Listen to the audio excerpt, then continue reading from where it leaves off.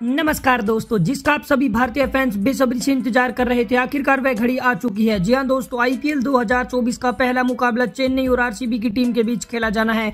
और यह मुकाबला कब और कितने बजे से शुरू होगा, बताएँगे सारी जानकारी आपको हमारे इस वीडियो में। लेकिन दोस्तों, अगर आप भी आरसीबी और सीएसके की टीम के बहुत बड़े फ़ैन है तो इस वीडियो को एक दिल से लाइक और चैनल को सब्सक्राइब कर लीजिएगा। दोस्तों आईपीएल दो हज़ार चौबीस का आगाज़ होने में महज ही कुछ पल बचे हैं और आईपीएल दो हज़ार चौबीस के लिए बीसीसीआई ने कुछ दिन पहले ही शेड्यूल घोषित कर दिया था। हालाँकि शेड्यूल पूरे आईपीएल का अभी तक घोषित नहीं किया गया है, क्योंकि इलेक्शन की वजह से बीसीसीआई ने आईपीएल 2024 के केवल 21 मुकाबलों का शेड्यूल घोषित किया था। यानी कि 7 अप्रैल तक हमें आईपीएल 2024 का शेड्यूल अभी तक देखने को मिला है।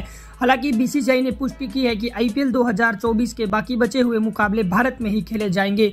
तो चलिए दोस्तों, आपको बताते हैं कि आईपीएल 2024 का पहला मुकाबला कब और कितने बजे से और कहाँ पर शुरू होगा। दोस्तों, ये पहला मुकाबला आरसीबी और चेन्नई की टीम के बीच खेला जाना है और यह मुकाबला चेन्नई के मैदान पर 22 मार्च को शुरू होगा और इस मुकाबले का टॉस भारतीय समय अनुसार शाम सात बजकर तीस मिनट पर होने वाला है और वहीं इस मुकाबले की पहली गेंद रात आठ बजे फेंकी जाएगी। हालाँकि आईपीएल के बाकी बचे हुए मुकाबले सात बजकर तीस मिनट पर शुरू होंगे, लेकिन पहला मुकाबला ओपनिंग सेरेमनी होने की वजह से आधा घंटा लेट शुरू होगा। तो दोस्तों, आप पहले मुकाबले में किस टीम को सपोर्ट कर रहे हैं, आप अपनी राय कमेंट में हमें ज़रूर बताइएगा।